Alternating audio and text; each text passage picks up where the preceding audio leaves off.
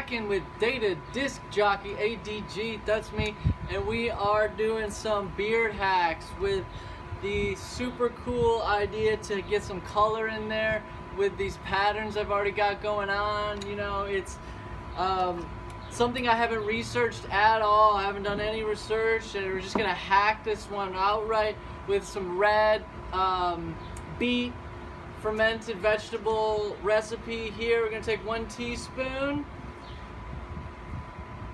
two teaspoons, a little slurp,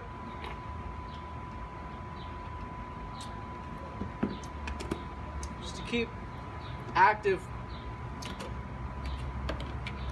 Add some Cabot yogurt. It's Greek, 10% milk fat, so you know it's good. One heaping teaspoon little lick.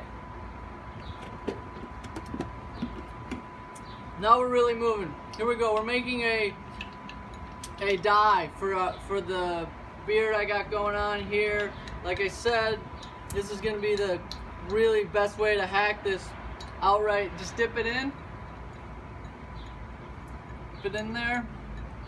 Get it covered in that all uh, pastel pink that we've made out of those two ingredients and then um, rub it in. See if you can get it to um, penetrate as deep as possible in in there by really, really pressing, pressing that in there.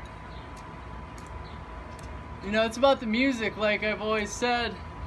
Uh, any hack that we can get this style going so that the the disc jockey active lifestyle can be shared and uh, keep that community from going obsolete right now. So I got one more dread here to um, to dye before we're pretty much we're pretty much rocking. I want to get it on there. I want to get it on there this way. Oh yeah. See if I can get it get it up. Get a taste. Mmm. Alright. My hand's caught. My hand's caught now because the tension between the hair, so I gotta cut it out though to get it a little looser there, but I, um, you know, the, the objective initially here, get these, uh, get this beard, ah, oh! She's gonna have to hack this off now. Oh. Oh. Oh. Okay. We're almost out. Okay. Okay.